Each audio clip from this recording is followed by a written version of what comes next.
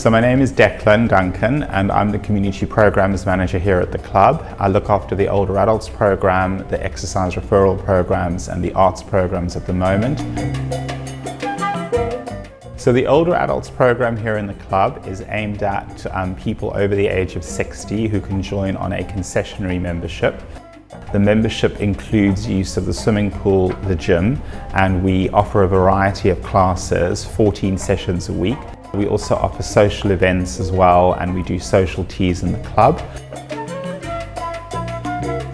And the aim of the program really is to engage with the older adult community in this area uh, to help improve their physical and mental health um, and also to reduce any loneliness or risks of isolation which is often prevalent uh, with the older adult population.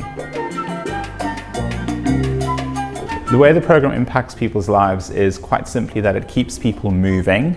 Um, in the longer term as well, it helps to strengthen their bodies as well. So it then reduces the need for them to go and see perhaps their GP um, or anything like that because they're managing their health uh, in the longer term too. We currently have over 800 members who are over the age of 60 uh, in the club.